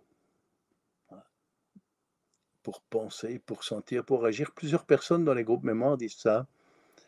Eh bien, quand je cherche quelque chose, quand je cherche le nom de quelqu'un, quand je me dis qu'est-ce que je viens faire là, qu'est-ce que je venais chercher, avant je disais bon tant pis, j'oublierai, oh ça vient, ça reviendra, vous pouvez y penser. Et eh bien maintenant je me dis tiens comment je fais pour y retrouver? Et une fois que le cerveau a retrouvé le chemin, je me rappelle plus le nom de cet acteur là qui jouait dans le film que qu'on a vu. Ah oui, euh, comment je le retrouve? Est-ce que c'est un son Est-ce que c'est euh, est-ce que ça ressemble à tel mot Est-ce que ça commence par un B Est-ce que c'est ah oui Est-ce qu'il est, euh, ah oui d'accord Est-ce qu'il a une tête Est-ce qu'il a une moustache je, me questionne. Et donc je stimule différents circuits dans mon cerveau et je retrouve la motivation pour me dire tiens quand je ne retrouve plus quelque chose j'ai des chemins des méthodes des techniques des façons de faire qui me permettent de continuer à penser et d'être motivé pour le faire, voire même de dire je ne trouve pas. Là aussi, c'est quelque chose d'important dans les groupes mémoire de pouvoir dire je ne sais pas faire. Euh, comment faites-vous pour résoudre cette énigme? C'est difficile. Hein. Surtout quand on a une, énigme qui demande de traiter 10, 15 informations en même temps, une petite énigme avec des, répartitions, par exemple, des personnages, eh bien, ça demande de, de la méthode et de l'organisation. Et des fois, c'est notre voisin qui va nous dire Tiens, je fais comme ça. Je... Ah, tiens, je vais essayer. Ou je vais faire avec toi. Ou tiens, fais avec moi. Ou guide-moi. Et quelle fierté ont les personnes de dire J'ai trouvé. Ça y est. C'est une belle fierté de savoir comment on retrouve et comment on ne trouve pas. Et comment on, demande. Est-ce que je vais développer de l'amour de moi pour donner et recevoir? Oui, quand je ne sais pas faire quelque chose, c'est aussi une qualité sans doute du troisième âge et de notre période de vie, où on a sans doute beaucoup donné dans nos vies. Est-ce qu'on va apprendre à recevoir et développer suffisamment d'amour pour soi pour pouvoir dire, ben, tiens, je ne sais pas faire, est-ce que tu peux me montrer hein? Et des fois, c'est nos petits-enfants qui nous montrent des trucs sur ordinateur, par exemple. C'est eux qui savent faire. Hein? Le pouvoir faire des demandes, de pouvoir d'agir, comme on dit, l'empowerment, hein, c'est un grand mot pour dire retrouver le pouvoir d'agir, quelque chose que je n'ai pas l'habitude de faire. Eh bien, j'ai des amis, des proches qui sont là, qui peuvent m'y aider. Hein. Et puis, apprendre à se connaître, c'est-à-dire d'apprivoiser son ombre, toutes les choses de moi que j'ai jamais osé dire, que j'ai dû cacher au travail ou, ou même dans ma vie amoureuse ou chez mes amis. Les bons amis, c'est ceux avec qui on va pouvoir justement demander. Hein. Ça permet de retrouver les souvenirs. Je ne me rappelle plus de ça. Tu peux me dire, euh, tu peux me donner un indice? Comment il s'appelait lui? C'était quoi son prénom? Ah oui, ça y est, je peux récupérer mes compétences. Tiens, attends, euh, je vais essayer de faire ne me montre pas, hein, si je montre dans un groupe informatique, si on montre à quelqu'un comment faire, on ne l'aide pas. Si on regarde comment il fait, puis il dit, tiens, comment tu fais? Ah ben là, tu trompes. Les jeunes savent très bien faire, en général, avec un téléphone ou un ordinateur, se tromper plein de fois, de demander, et nous n'avons pas forcément appris cela. Ça veut dire aussi que pour muscler notre cerveau, nous avons besoin de varier les activités, de varier les plaisirs, justement pour nous obliger, nous stimuler à nous adapter et développer une qualité de notre réseau social. Hein. Si une chose peut nous aider au niveau émotionnel et au niveau cognitif, c'est quand quelqu'un nous confirme et nous dit Tu as l'air d'avoir du chagrin là. Tu penses à ton frère qui vient de décéder. Qu'est-ce qui s'est passé? Tu y penses. Et que je peux en parler sans comme Ah, mais il faut pas t'inquiéter, il faut pas te faire toutes les conneries qu'on se dit et qui nous empêche justement d'élaborer notre pensée et de la partager avec quelqu'un. Nous avons des besoins relationnels qui sont vitaux, qui ont été endommagés pendant la crise du Covid et le confinement, et nous avons bien besoin de les retrouver. Certaines personnes restent confinées, pas que chez les seniors d'ailleurs, hein, chez beaucoup d'adolescents d'ailleurs, et on voit bien ce problème-là dans les collèges où j'interviens encore un peu. Et je vois des adolescents qui sont fermés, qui pensent que la fin du monde va arriver bientôt et que ce n'est pas la peine de travailler à l'école et ni faire de projet. Bon et donc de pas besoin d'avoir des relations sociales, sinon avec son portable, et moins on voit les gens, plus on a de, plus on a de likes. En direct, on n'en a plus. Oui, on nous envoie des messages et des signes de reconnaissance dont on a besoin, mais seulement par Facebook ou autres réseaux sociaux. Hein.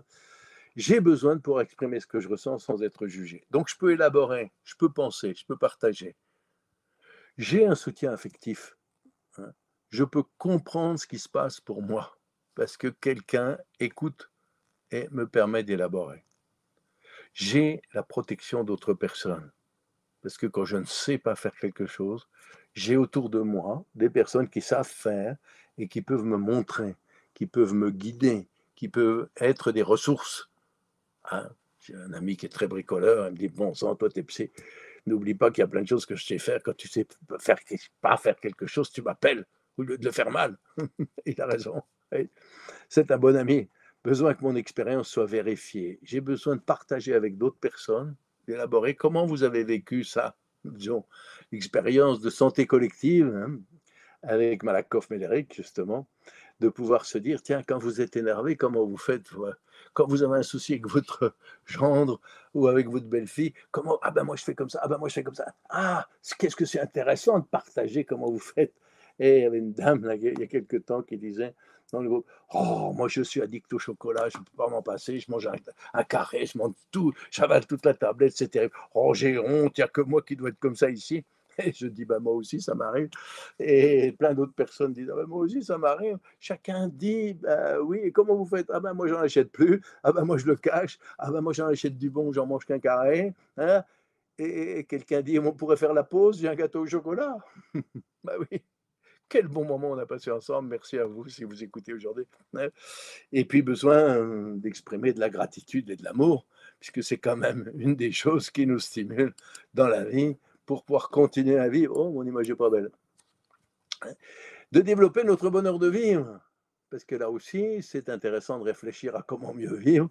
Si on est dans le bonheur, si on est dans le malheur, on a plutôt envie que ça, se termine. Hein parlais récemment avec un ami, cancer du pancréas, avec des chimios répétitions qu'il fout en l'air. Il me disait bah, Mon bonheur de vivre est bien entamé, j'ai encore un petit peu de, choses que je travaille, que j'apprends, mais c'est difficile de plus en plus. Et il y a des fois, je me dis Je voudrais que ça s'arrête. Euh, donc, il faut un sacré courage pour continuer à entretenir ses connaissances et son cerveau qui, était brillant. Mais le corps est fatigué.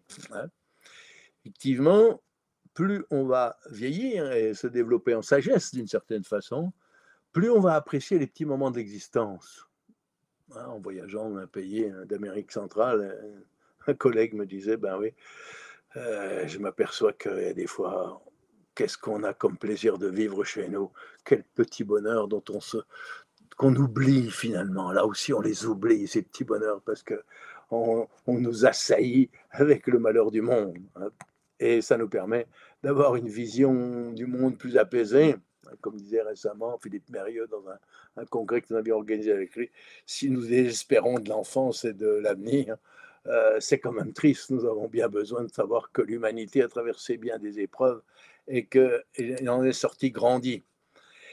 Et la joie de vivre, c'est ça. Hein. la joie de vivre, c'est justement de s'accepter, soit avec ses réussites, ses erreurs, ses échecs, ses vulnérabilités, ses fragilités. Donc, de pouvoir, euh, bah, pas forcément vouloir rester jeune, mais vouloir être des vieux qui soit en bonne forme et qui profite bien de la vie. Je lisais récemment que 70 ans est l'âge où on est le plus heureux dans la vie, euh, statistiquement. Donc c'est plutôt une bonne nouvelle qui nous permet d'aller à l'écoute, vers la joie, vers la réciprocité, vers la coopération. C'est peut-être ce qu'on va prendre le temps quand même. On a un petit peu de temps pour, pour échanger. Je vois que vous écrivez, mais j'ai pas beaucoup de temps pour le lire. Hein. Nous avons besoin d'optimiser notre cerveau. La mémoire, c'est l'inverse des piles d'air. Elle ne s'use que si on s'en sert pas. Donc, oxygénez vos cerveaux, faites de nouvelles activités, faites de la zumba, du piano, de la poterie, gérez le stress pour se souvenir, pour oublier, pour gérer le présent. Hein. Soyez curieux, créatifs, faites des jeux de mémoire, aidez possible en groupe.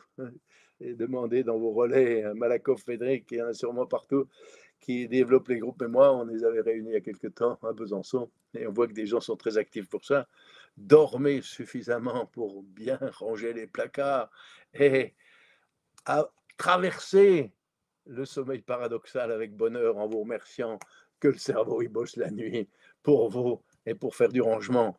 Mettez votre mémoire immédiate à contribution hein, toute la journée faites le générique du film avant de vous endormir. Qu'est-ce que j'ai fait aujourd'hui? Qu'est-ce que j'ai mangé à midi? Qu'est-ce que j'ai fait d'intéressant? Qu'est-ce que j'ai appris d'intéressant hein? C'est notre vieil Hugo Frey, jeune marié, qui disait, ben oui, si je suis en forme encore aujourd'hui, c'est parce que je, chaque jour, j'essaie d'apprendre quelque chose de nouveau. Et si à la fin de la journée, j'ai rien appris, je vais prendre un bouquin, apprendre quelque chose. Hein. Lisez, apprenez, chaque jour quelque chose de nouveau. Et j'espère qu'aujourd'hui, avec tout ce que je vous ai raconté comme bêtises et comme choses intéressantes, il y a quelque chose de nouveau que vous avez appris ou que vous avez envie de continuer à apprendre. Je vous remercie et j'ai encore un peu de temps avec l'aide de Jeanne pour pouvoir voir les questions qui se posent pour vous, que vous ne repartiez pas trop frustré. L'éléphant rose, point jaune, miaule toujours en sentant le café. Ah bien. et oui, exactement. Merci beaucoup Gérard pour cette conférence très intéressante. Alors je vais remettre le chat en mode public et en effet nous avons un peu de temps encore devant nous euh, pour pouvoir répondre aux questions qui ont pu être posées euh, votre intervention. Alors voilà, notamment une question euh, peut-être qui a été posée il n'y a, pas si longtemps que ça par rapport à, votre chapitre sur l'estime de soi. Donc l'estime de soi, est-ce philosophique? Oui, c'est l'estime de soi, c'est aussi une philosophie de vie. Hein, Voltaire disait déjà, j'ai décidé d'être heureux parce que c'est bon pour la santé. Nous pouvons, et nous avons toutes les bonnes raisons aujourd'hui de désespérer du monde. Hein. Il semble que 70% des jeunes aujourd'hui imaginent qu'ils vont vivre la fin du monde, la fin de l'humanité dans leur vie, au cours de leur vie. Hein. C'est-à-dire que si vous regardez certaines chaînes de télévision tous les soirs, entre les pubs, vous allez complètement vous désespérer du monde et de la vie, et de l'avenir et des jeunes. Parce qu'en plus, ils ne veulent plus rien foutre, ils ne veulent plus travailler, ils ne sont pas courageux comme nous, bien sûr. Ça, c'est la même ancienne. Mais les jeunes, ils nous apprennent la qualité de la vie, ils nous apprennent le bonheur de vivre, ils nous apprennent le temps de vivre, ils nous apprennent que le boulot, il n'y a pas que ça dans la vie, il y a quand même ça Même si travailler avec Apivisio et, et Cécile, c'est toujours un plaisir.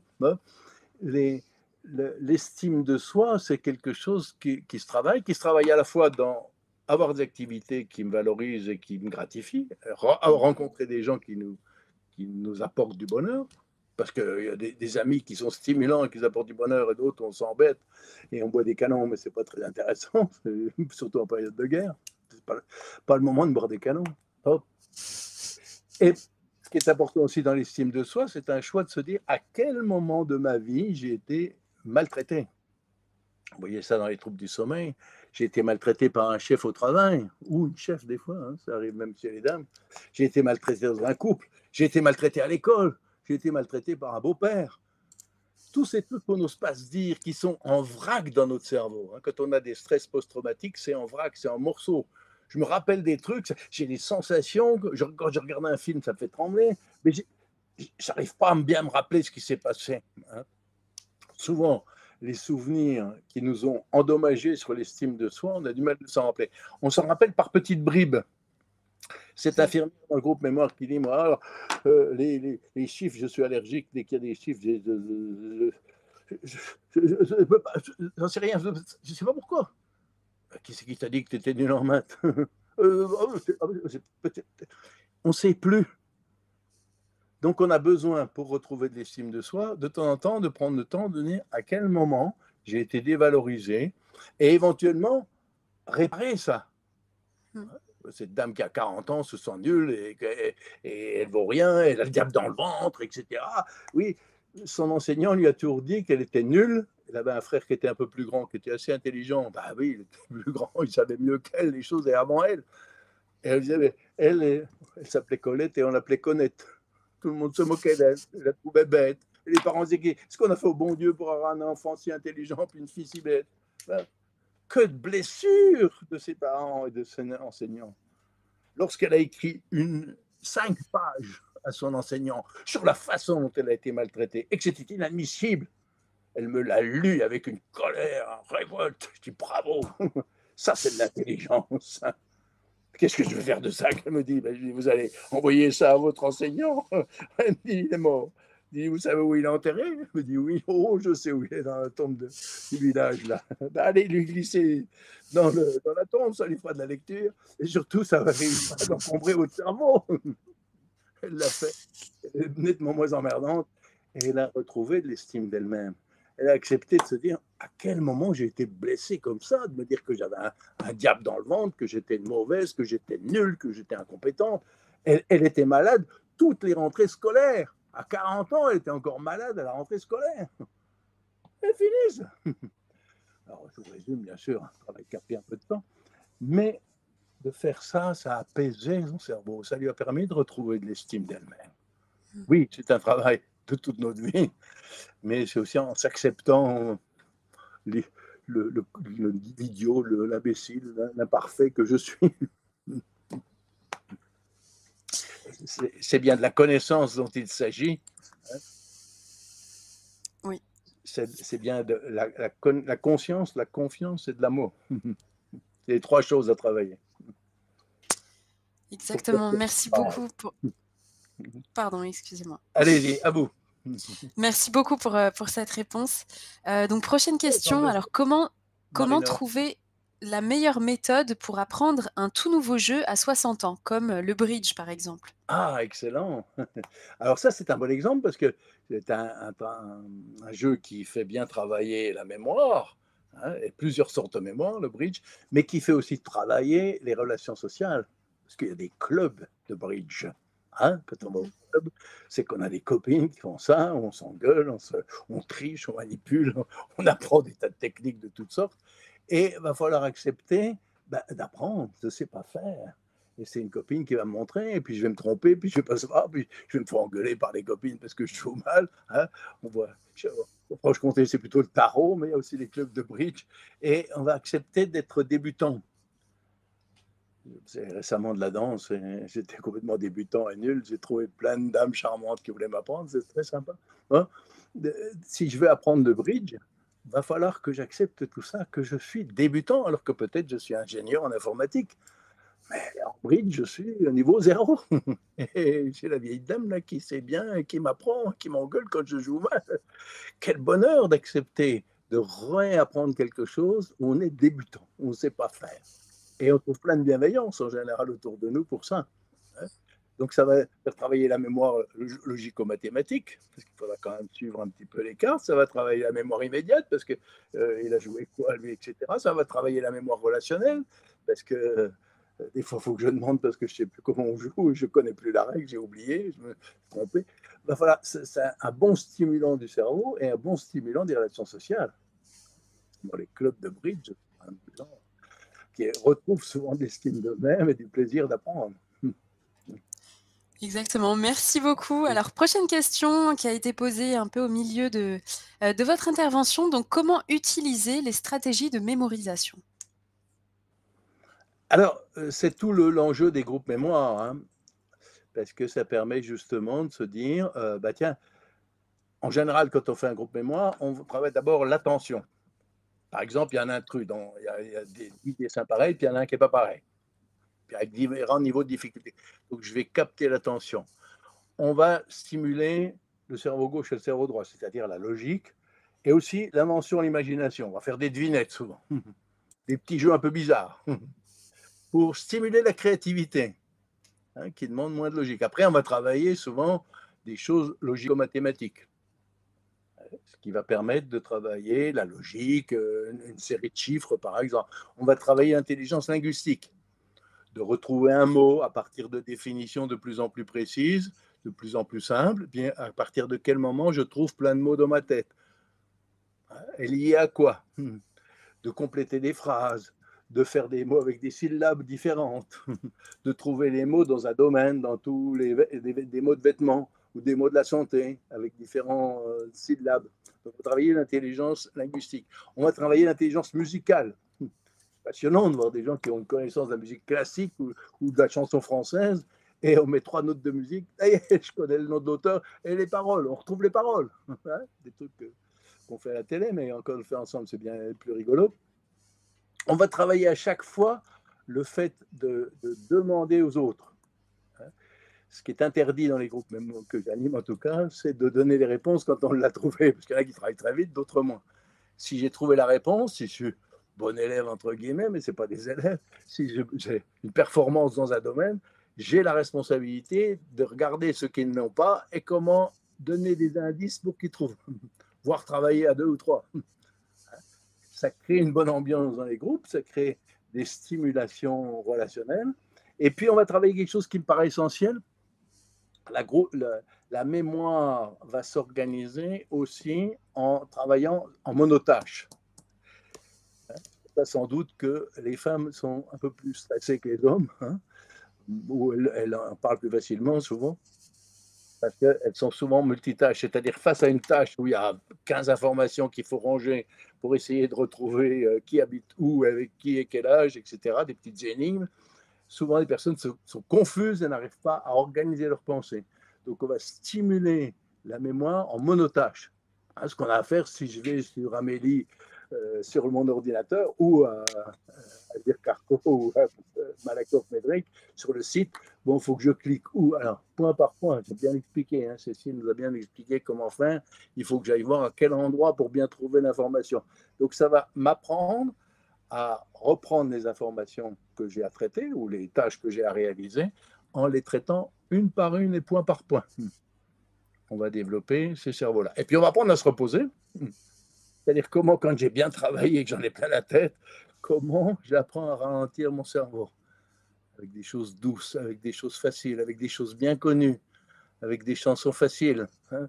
Si je vais dans une maison de retraite, je regarde à quel âge euh, la moyenne d'âge des gens, à quel âge, dans quelle date ils avaient 20 ans et quelles chansons on chantait à ce moment-là. Et ça y est, c'est facile, je reconnais, je retrouve hein, les amants de Saint-Jean, et ça ressemble de plus en plus maintenant à mes, chansons à moi, à Johnny ou à autres. Hein. Et on écoute les choses, souvenirs, souvenirs. Et ça nous fait du bien. On a dansé sur ce slow, tu te rappelles Oh, qu'est-ce qu'on a emballé, c'était bien. Hein. On se rappelle les bons souvenirs. Et donc, on va détendre aussi, on va apprendre à détendre le cerveau pour qu'il alterne des périodes de, stimulation, hein, ce qu'on a tous besoin, et des périodes de détente. Hein. pour que le cerveau marche bien, il a besoin de ça, comme le corps humain. Stimulation, activité et repos. Donc, on va permettre au cerveau à la fois des stimulations et des repos. Et on va euh, travailler aussi sur le flow, c'est-à-dire, je vais regarder pour chaque personne là où elle est compétente, pour pouvoir stimuler la compétence là où elle est bonne. Et puis monter tout doucement un petit peu plus, par exemple en culture générale, on va faire des exercices de culture générale pour développer la mémoire ancienne. Et généralement avec les groupes qui deviennent de plus en plus compétents, parce que je trouve que le niveau monte régulièrement dans chaque groupe. J'anime quatre groupes et je les vois tous euh, se développer. Donc on va aller vers des choses un peu plus complexes, sans aller trop fort, parce qu'il faut qu'il y ait de la réussite. Mais que ça ne soit pas trop facile. C'est toujours délicat de trouver à quel niveau il faut mettre la, barre pour apprendre. Hein. Si j'apprends une nouvelle langue, bah, au début, il me faut du B à bas. Et puis après, je vais pouvoir apprendre des choses de plus en plus complexes. Donc, je vais monter aussi en complexité pour qu'il euh, y ait un challenge qui soit intéressant et stimulant.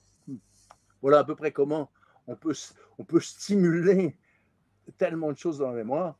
Et puis, euh, ce, que, je fais des fois avec mes petits-enfants, tu me montres les trucs que tu fais avec les seniors, comment tu fais? Alors, c'est un peu difficile si vous faites ça parce que souvent, ils vont plus vite que nous, mais ils adorent faire ça. Et après, ils montrent comment ils vont trouver plus vite que moi. Hein? Donc, c'est intéressant aussi de voir comment euh, bah, nos petits-enfants, en général, ils ont eu quand même une bonne stimulation et une bonne compétence intellectuelle. Et ça permet de profiter de leur motivation, de leur joie de vivre et de leur plaisir d'apprendre. Hein.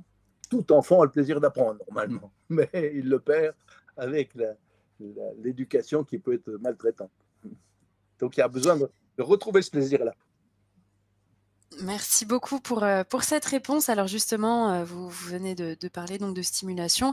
Donc une, question qui ne traite pas le, même sujet, mais qui, qui, se retrouve un peu. Peut-être aussi la, dernière question, vu que le temps euh, passe tout de même ah très vite. Hein. Oui. Alors, comment stimuler une personne hermétique à toute stimulation? Donc neurones au repos perpétuel, enfin presque. Ah, ça c'est vraiment une question essentielle sur laquelle je travaille. Oui, parce que je travaille avec des, gens de Pôle emploi qui sont éteints et qui, qui refusent toute stimulation. C'est-à-dire, si on leur pose une question, si on les écoute, on sent que la personne s'est enfermée dans une grotte. C'est souvent des personnes qui ont tellement de blessures. Voilà. On pense à cette personne, violence éducative, violence à l'école, violence dans son couple, violence au travail. Elle a accumulé une telle violence que quand euh, la première fois que je la vois, elle est enfermée, escargotée. Chaque fois que je lui dis quelque chose, ça ne passe pas. Elle, ne retient pas. Elle, n'a pas de sensation, sinon des douleurs partout. Donc on va commencer très souvent par ça, c'est-à-dire de dire la personne a perdu la confiance dans le monde, a perdu l'envie d'aller voir les autres. Hein? Une personne au yoga, avec, très bien son yoga, elle fait les gestes super bien. Elle dit J'ai été assez blessé dans la vie, maintenant je n'embrasse plus personne, je ne touche plus personne, je laisse plus personne m'approcher. Son corps est mené comme une machine, comme un robot. Donc les premières sensations qu'on va avoir, c'est souvent quelque chose d'assez morcelé et des, petites sensations. Tiens, que je vois quand je t'approche, tu n'as pas trop envie. Tu veux que je reste là? Ben, Juste déjà nommer les sensations, les accueillir avec bienveillance peut-être petit à petit dire qu'est-ce qui t'a fait mal à ce point que tu ne plus personne t'approcher Et comment tu as fait pour rester en vie et pour rester debout? C'est intéressant, mais progressivement, des petits morceaux de mémoire qui vont revenir, des fois en bribes, hmm, pas très cohérentes, c'est pas des souvenirs, c'est des, traumatismes, c'est des blessures. Je vais commencer à les écouter. Hein. Cet homme qui vient de divorcer, il y a quelques temps, elle venait me voir, qu'est-ce que qu'on fait ensemble? Ben, Elle me dit, tiens, viens, emmène-moi cueillir des cerises. Et puis, si je te dis des trucs sur ma, sur ma femme, ben, tu m'écoutes simplement. Des petits morceaux qui viennent comme ça, en cueillant les cerises. faut pas vouloir trop vite aller percer la carapace. Hein, pour Noël, acheter à, vos hommes, ces gens-là, le chevalier à l'armure rouillée. Hein, de, dire, ben oui, les personnes se sont endurcies et il faudra que ça pleure un petit peu pour que la carapace, elle rouille. Puis peut-être qu'il y a des boulons qui tombent. Il faudra aller doucement avec les personnes qui ont été blessées, qui ont perdu toute confiance dans l'humanité, toute confiance dans les autres. Hein. Combien de gens disent maintenant, je préfère être seul, maintenant j'ai été assez blessé, assez maltraité, c'est fini, je ne fais plus confiance à personne. Donc cette personne va souvent se détériorer au niveau de la santé parce que elle n'a plus l'échange avec le monde. Hein. Il n'est pas bon que l'homme soit seul, les femmes non plus, bien sûr. Hein, effectivement, euh, on a à faire attention qu'il y a des gens extrêmement blessés par la vie et qui ont besoin qu'on les approche avec beaucoup de délicatesse. Une de mes clientes m'a offert un hérisson, je ne sais plus où il est. Et elle m'a dit, attention, je suis un hérisson. si tu t'approches pour trop près de moi pour me toucher, hop, je sors mes aiguilles partout. Je sais apprivoiser les, les hérissons, elle m'a dit. Il faut faire comme ça avec moi. Quand je sors mon nez, tu fais attention de ne pas l'approcher trop vite et pas, lui faire mal. Il a fallu beaucoup de temps pour qu'elle sorte son nez et qu'elle ouvre son cœur. Il est ouvert maintenant et c'est bon, c'est bien. Mais il faut du temps, oui. Euh, dans, la relation d'aide, dans l'accompagnement des personnes qui ont été blessées par la vie, il faut un peu de temps. Hein. J'ai travaillé avec les auxiliaires de vie qui disent que quand on a un, papy Alzheimer qui dit je vais chier dans ma culotte comme ça, j'emmerde tout le monde, et puis ça me fait chier ma bonne femme qui, qui, a, beaucoup de colère comme ça. Il a vraiment besoin d'écouter avec bienveillance cette colère pour qu'il retrouve un peu ses esprits des fois et qu'il arrête d'emmerder le monde et de se faire chier aussi lui, de s'emmerder lui. Parce que pour les personnes qui ont l'air d'être fermées, il y a quand même une douleur intérieure de se dire, elle a perdu son humanité et son lien avec le monde. Un peu de temps dans la relation d'elle. Merci beaucoup Gérard euh, pour, euh, pour ces réponses euh, à ces questions. Alors bon, malheureusement, on n'a pas pu répondre à toutes les questions, mais le temps, voilà, comme j'ai pu dire avant, le temps passe très vite. Oh, Je profite également de, euh, de cet instant pour remercier chaleureusement euh, Cécile Guillot qui était également présente pour cette visioconférence, donc pour la partie euh, introduction que nous accueillons. Merci encore à vous Cécile pour votre intervention qui était très intéressante également, avec beaucoup d'informations importantes. Alors justement, si vous souhaitez également retrouver les dispositifs et événements, donc n'hésitez pas à aller sur le site internet agircarco.fr sous la rubrique Mes services ainsi que participer à un événement je l'ai indiqué dans le chat. Je le remets tout de suite pour que vous puissiez le retrouver aussi. Merci encore à vous, Cécile. C'était un plaisir de pouvoir vous accueillir cet après-midi. Merci Jeanne et merci Gérard pour la belle et la, et la belle qualité de, de tes conférences, comme d'habitude, qui sont dynamiques on ne s'ennuie pas avec toi, Gérard. On n'a pas oh. plein, d'informations comme d'habitude. qu'on est, on, est en, visioconférence, euh, mais c'est vrai que les conférences aussi en présentiel sont, sont tout aussi prenantes, même beaucoup plus, parce que c'est vrai qu'il y, a une distance avec euh, la visioconférence. Euh, voilà, et on ne voit pas les visages des personnes.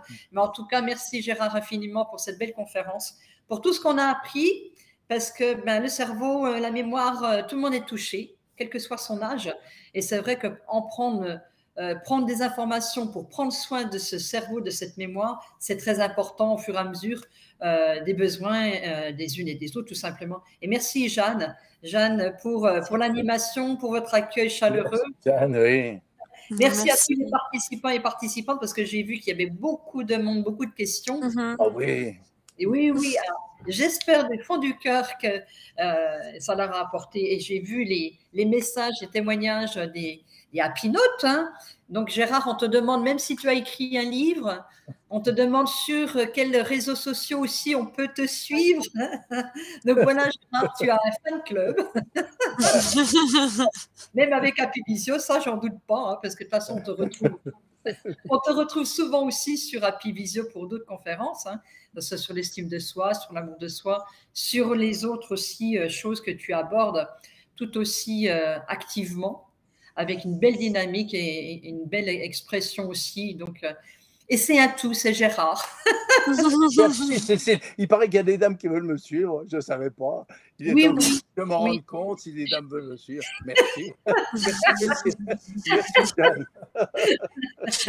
Merci, à vous surtout. C'était un plaisir de pouvoir vous accueillir et vous accompagner euh, cet après-midi donc pour cette visioconférence que je rappelle vous a été proposée par Agir Carco. Merci encore. Je vous souhaite une très très belle journée et puis bah, au plaisir de pouvoir vous retrouver euh, sur Happy Visio pour une prochaine euh, visioconférence. Merci, à bientôt, avec plaisir.